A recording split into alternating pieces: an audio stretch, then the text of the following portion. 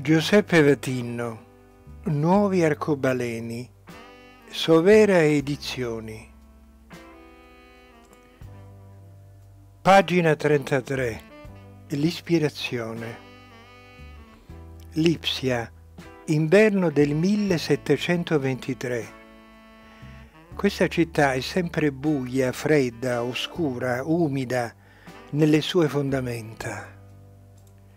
Le nubi nere cariche di pioggia si addensano minacciose a ponente ogni pomeriggio.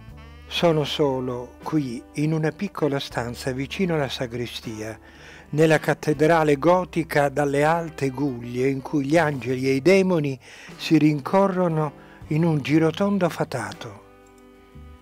Posso vedere i grandi vetri smaltati, rossi, verdi e blu, che come pietre preziose sono incastonati nella volta e da cui filtra ogni tanto qualche raro raggio di questo pallido sole.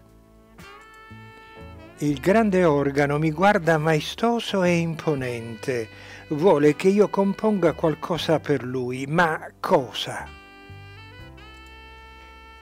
Le gocce cadono sul tetto, regolari e cadenzate, poi quelle più veloci urtano i bordi e schizzano giù fino al suolo.